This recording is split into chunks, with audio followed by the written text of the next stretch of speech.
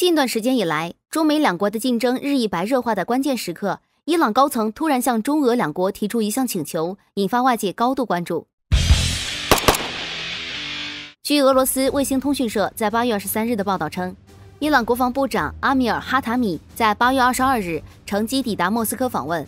在接受采访时，阿米尔公开向中俄两国提出一项请求：德黑兰方面希望能够再次与中俄两国在中东海湾地区举行军事演习。这一表态，在外界看来，也是伊朗面对紧张局势下的一个态度，变相邀请中俄两国能够尽快插手中东地区事务，缓解自身面对美军的军事压力。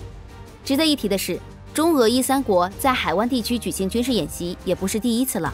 在去年十二月二十七日，中俄伊三国就曾经在海湾地区举行首次的军事演习，当时中国派出的是西宁号导弹驱逐舰，而俄罗斯则派出了三艘军舰参演。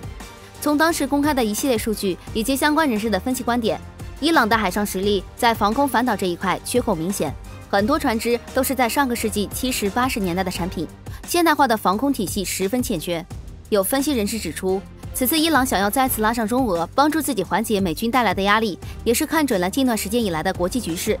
美国领导下的北约频繁在东欧地区向俄罗斯施压，甚至连俄罗斯的桥头堡白俄也因故产生国内局势动荡。而中国就更不用说了，南部海域、东部海域等地区频繁遭遇美军机骚扰和侦察，挑衅意味十足。在美军的武力挑衅下，中俄伊三国越走越近，已经是一个趋势。